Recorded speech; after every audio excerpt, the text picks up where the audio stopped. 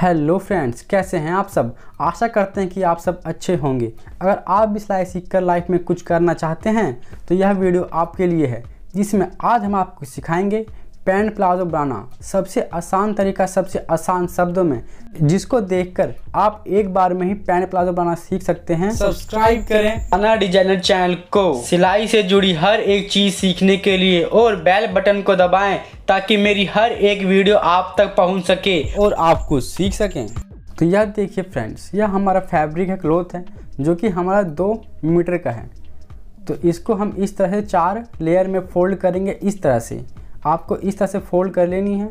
यह palazzo pant बनाने का सबसे आसान तरीका है। तो फ्रेंड्स यार देखिए हमने इसको फोल्ड कर लिया। आप चाहे तो इसको प्रेस की मदद से अच्छे से बिठा सकते हैं, जो कि कटिंग करने में बहुत ही आसानी होगी। तो यह देखिए फ्रेंड्स, हमने इसको प्रेस की मदद से अच्छे से बिठा लिया है। अब हम ऊपर से इसका फालतू कपड़ा कटिंग करके निकाल देंगे।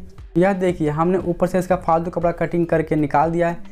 हमारे इस प्लाज़ो का मेज़रमेंट है, हमारे इस प्लाज़ो का मेज़रमेंट है, लंबाई है इसकी 36 इंच और कमर है इसकी उनतीस इंच और हिप है इसका 33 इंच और आसन है इसका 13 मोरी है इसकी 17 इंच। तो यह हमारा मेज़रमेंट है।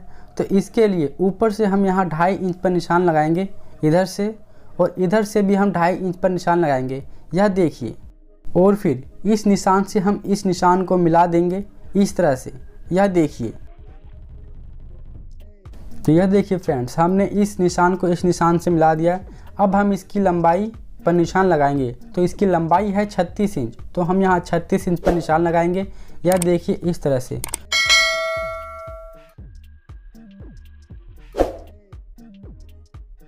और इधर से भी हम 36 इंच पर निशान लगाएँगे इस तरह से।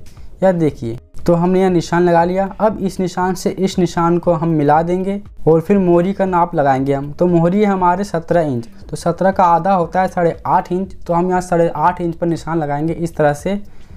तो हमने साढ़े आठ इंच पर निशान लगा लिया। अब हम ऊपर इसका मेज़रमेंट देंगे, हम इसका नाप देंगे। तो आसन है हमारे इसका तेरह इंच। तो हम बारह इंच पर निशान लगाएँगे और एक इंच हमारा इस घूम से आ जाएगा। अब फ्रेंड्स, हम इसका मेज़रमेंट लगाएँगे। तो इसका हिप के हिसाब से हम इसका मेज़रमेंट लगाएँगे। तो हिप है इसका तैंतीस और तैंतीस का एक चौथाई होता आठ पॉइंट तीन इंच तो हम इसको आठ ही लेंगे। तो हम यहाँ से आठ इंच में तीन इंच एक्स्ट्रा डालेंगे। तो हमने तीन इंच एक्स्ट्रा डालेंगे तो यह हमारा हो गया ग्यारह इंच तो ग्यारह इंच पर हम ऊपर यहाँ निशान लगाएँगे और ग्यारह इंच ही हम यहाँ नीचे निशान लगाएँगे इस तरह से। और यहाँ से हम दो इंच एक्स्ट्रा लेंगे। और फिर इस निशान को इस निशान से मिला देंगे, जो कि हमने मिला दिया है। अब हम इसको गोलाई देंगे।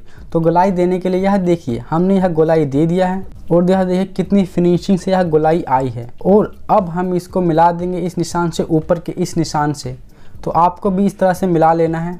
तो यह देखिए, हमने इसको मिला लिया है। अब इस निशान से आधा इंच मार्जिन छोड़ते हुए हम इसी कटिंग करेंगे, क्योंकि आधा इंच हमारा इसके दबाव में जाएगा। तो हम इसको दबाव में लाने के लिए हम एक इंच फाल्टू कटिंग कर रहे हैं। यह देखिए इस तरह से। हमारा चारों लेयर फ्रेंड्स एक साथ है। हम चारों लेयर को एक साथ कटिंग करते हैं क्योंकि पैंट में आगे और पीछे का पल्ला बिल्कुल बराबर होता है तो इसी तरह से हम कटिंग करते हैं। यह देखिए फ्रेंड्स हमने इसको कटिंग तो यह देखिए फ्रेंड्स हमने प्लाजो की कटिंग कर ली है और नीचे एक खुटका देंगे यहाँ पर, इस तरह से। अगर आपको इस प्लाजो की कटिंग में कोई भी दिक्कत आ रही हो तो आप कमेंट बॉक्स में हमसे पूछ सकते हैं। तो यह देखिए फ्रेंड्स हमने इसको कटिंग कर रहे हैं और नीचे से हम दो इंच भी फालतू रखेंगे इस पर क्योंकि हमारा यह नीचे फोल्ड होगा। अब हम इसकी स्टिचिंग करेंगे। तो यह देखिए, यहाँ से हम इसकी स्टिचिंग करेंगे इस तरह से फ्रेंड्स तो फ्रेंड्स यह देखिए हमारा दोनों लेयर कटिंग हो चुका है। अब हम इसकी यहाँ से इसकी स्टिचिंग करेंगे। तो आपको यह करके दिखाते हैं। या देखिए या देखिए, हमने इसकी स्टिचिंग कर ली है। आपको भी इस तरह से इसकी स्टिचिंग कर लेनी तो यह देखिए फ्रेंड्स हमने इसकी स्टिचिंग कर ली है। अब हम साइडों से इस पर सिलाई लगाएँगे। और नीचे मोहरी पर भी हम यहाँ से इस तरह से इसको फोल्ड करके सिलाई लगाएँगे इस पर, जो कि बिल्कुल परफेक्ट हमारा पैंट, जो कि एकदम परफेक्ट हमारा प्लाजो बन करके तैयार होगा। तो हम इसको तो इसकी स्टिचिंग हम आपको मशीन पर दिखाएँगे। तो चलिए मशीन के ऊपर चलते हैं। तो यह देखिए फ्रेंड्स, हम इसको स्टिचिंग करेंगे, यहाँ से इसकी सिलाई करेंगे। फ्रेंड्स अगर आप इसी तरह से पैंट प्लाजो बनाएँगे तो आप एक बार में ही पैंट प्लाजो बना सकते हैं। तो यह देखिए फ्रेंड्स हम इस पर सिलाई लगा रहे हैं। तो यह देखिए, हमने एक तरफ़ से यह सिलाई लगा ली है, अब हम दूसरी तरफ़ से भी ऐसे ही सिलाई लगाएँगे। यह सिलाई लगाने के बाद, अब हम मोहरी पर सिलाई लगाएँगे। तो उसके लिए, हमारे इस प्लाजो की मोहरी का नाप है सत्रह इंच। तो सत्रह इंच का आधा होता है साढ़े आठ इंच। तो हम साढ़े आठ इंच पर यहाँ पर निशान लगाएँगे। और सिलाई करेंगे। आप जब भी साइडों में प्लाजो या पैंट पर सिलाई करें तो इस बात का ध्यान रखें कि आप प्लाजो को हल्का इस तरह से खींच कर सिलाई कीजिएगा। अगर आप इस तरह से सिलाई खींच के करेंगे कपड़े को तो आपके कपड़ों में कभी सलवटें नहीं आएँगी, जो कि ज़्यादा लोगों की शिकायत होती है कि उनके पैंट प्लाजो में दिक्कत आती है सलवटें आती हैं। तो अगर आप इस तरह से प्लाजो या पैंट बनाएँगे तो आपका सलवट बिल्कुल भी नहीं आएगा। फ्रेंड्स अब हम प्लाजो का कमर बनाएँगे। तो प्लाजो का कमर बनाने के लिए हमारा कमर का नाप है इसका उनतीस इंच। तो उनतीस इंच में हम चार इंच कम करेंगे तो हमारा होता है पच्चीस इंच। तो पच्चीस इंच हमारा यह तैयार रहेगा। तो यह देखिए, हमारा पच्चीस इंच का यह लास्टिक तैयार है। अब हम इसको ऊपर कमर पर लगाएँगे लास्टिक को। तो यह देखिए किस तरह से लगाते हैं इस लास्टिक को। अगर आप हमारे इस बताए तरीके से बनाएँगे तो आप एक बार में ही लास्टिक लगाना सीख सकते हैं। और हमने ऐसे ही पहले भी कई सारी वीडियो बनाई हुई है। आप चाहे तो उनको भी जाकर देख सकते हैं। तो यह देखिए फ्रेंड्स, यह तो यह देखिए फ्रेंड्स, हम यह इलास्टिक कितने अच्छे से लगा रहे हैं। आपको भी इसी तरह से यह इलास्टिक लगाना है।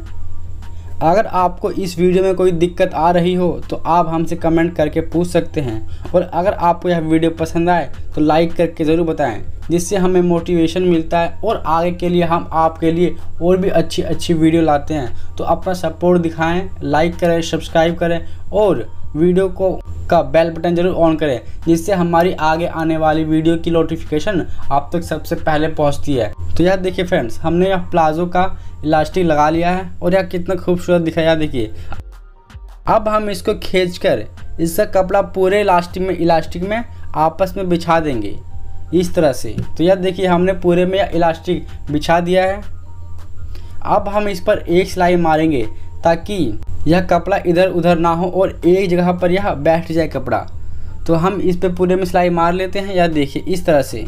अगर आपको हमारी यह वीडियो थोड़ी सी भी अच्छी लगी हो तो लाइक करके हमें ज़रूर बताएँ, जिससे हमें मोटिवेशन मिलता है और हम आपके लिए और अच्छी अच्छी वीडियो लाने का प्रयास करते हैं। हम और अच्छे से काम करते हैं ताकि आपके लिए और अच्छी वीडियो ला सकें और आपको कुछ वैल्यू दे सकें, जिसमें आपका साथ हमारे लिए बहुत ही ज़रूरी है, आपका साथ, आपका प्यार। धन्यवाद।